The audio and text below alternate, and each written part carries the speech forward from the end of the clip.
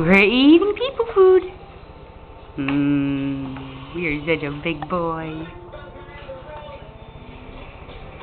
We're getting actually to the end now. I kind of missed the beginning. There we go. Jackson's favorite thing in the world to eat is toast with butter, which is kind of strange for a baby, but we'll go with it. He's that good. And we've got cousin Shannon here today, helping out With the baby. with the baby. I'm going to give him a couple of the yogurt melts are his new favorite yummy thing. Yes, he likes them. There we go. And went right to it. Into the mouth. We usually get a funny face out of it even though he likes it. Nummy. Nummy. No, you can't have the camera. I know. And they all drop in his lap. Pretty much half the tray drops in his lap. food feet down. Yeah, he always puts his feet up. Oh, I can't feel where it went. Here's a piece of toast. Your hands get real soggy when you feed him. Yeah. So we are a big boy now. We eat noodles and meatloaf and toast and mac and cheese and mm-hmm. potatoes, pears.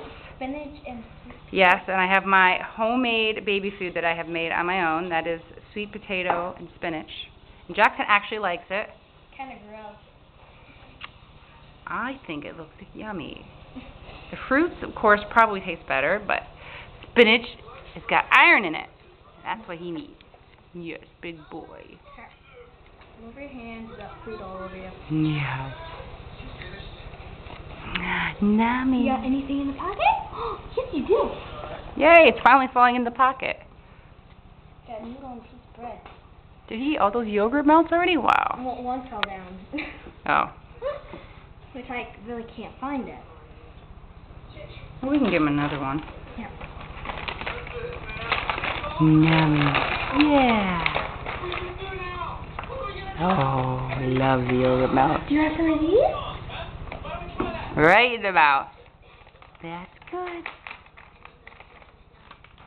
That's good. You want some of these? Jackson, you want some puffs?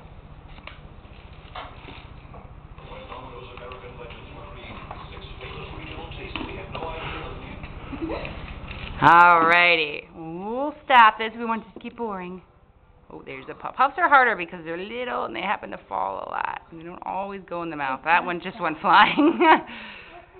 Puffs are hard. That's why I like the yogurt melts. They're easier for him to grab. Oh my word, it's all in his pocket.